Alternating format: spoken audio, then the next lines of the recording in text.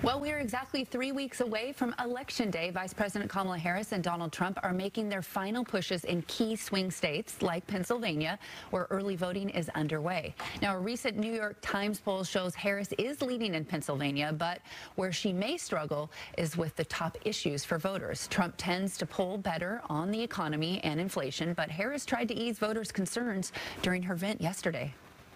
We are focused on issues that matter most to families across America, like bringing down the cost of living, investing in small businesses and entrepreneurs, protecting reproductive freedom.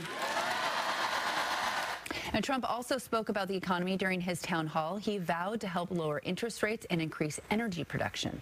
We're going to use our beautiful liquid gold. And when we get everything else down, houses, everything's going to come. Give me a little while. Let me get in. One year from January 20th, we will have your energy prices cut in half all over the country. Both Trump and Harris are scheduled to appear on Fox News tomorrow.